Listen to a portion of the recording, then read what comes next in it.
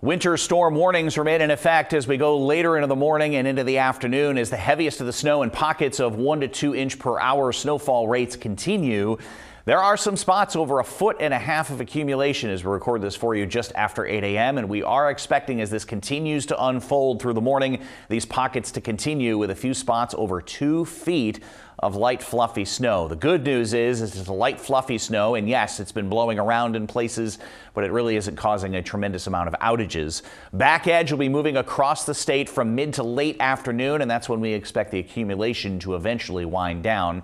Temperatures upper teens, lower 20s, lack of moisture in the air lending itself to that very light and fluffy snow we have out there. We also have wind chills in the single digits if you have kids headed out to play in the snow this afternoon.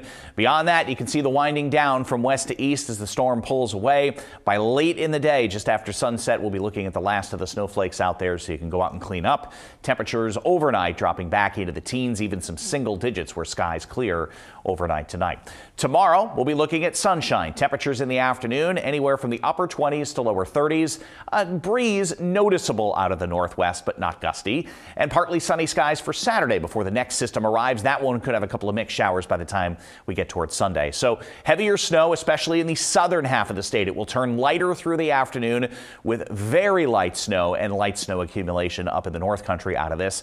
0 to 18 overnight tonight with clear skies. And then tomorrow, temperatures in the 20s to lower range of the 30s. Heaviest of the snow from this system in the southern half of the state where we have the winter storm warning still up through 4 o'clock this afternoon.